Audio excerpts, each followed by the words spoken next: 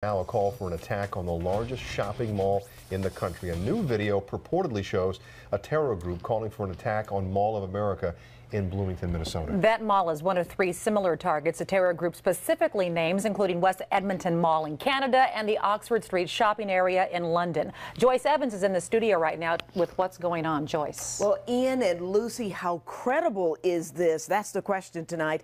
That video appears to have been posted by Al Shabaab. That's an Islamist militant group based in Somalia and aligned with Al Qaeda. And this group has already proven it can make good on its threats. The video is chilling. Six minutes of graphic images celebrating the 2013 attack on an upscale mall in Kenya that claimed more than 60 lives. An attack the narrator makes perfectly clear he'd like to duplicate in Minnesota. What if such an attack was to occur in the Mall of America in Minnesota?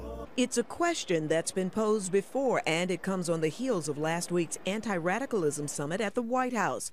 FBI agent Richard Thornton says Al Shabaab recruitment in Minnesota is a growing problem. Al Shabaab has specifically targeted Minnesota Somali community for recruitment, encouraging our youth through videos and social media to either join the fight overseas or to conduct an attack in the United States. Local Somali leaders have been worried for quite some time about recruitment of their young people. And in recent months, lots of teens in Minnesota have been arrested for alleged connections with terror groups like ISIS. Now, some worry that a corner has been turned. This is going to happen, but the question is where it's going to happen and when it's going to happen. That's why we need people to be very much informed and all about this. Local leaders hope information and cooperation can stop a future attack. Meantime, the Mall of America says it's not taking any chances, adding additional security and pledging cooperation with law enforcement.